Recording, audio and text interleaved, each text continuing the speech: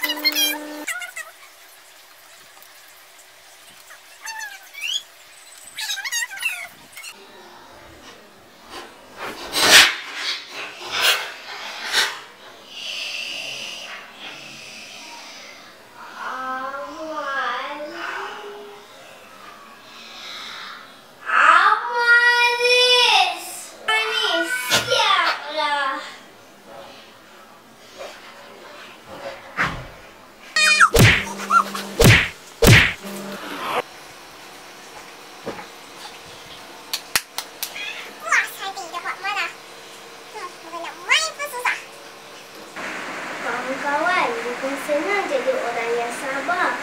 Kalau kita sabar, nanti kita akan masuk syurga. Allah sayang orang yang sabar.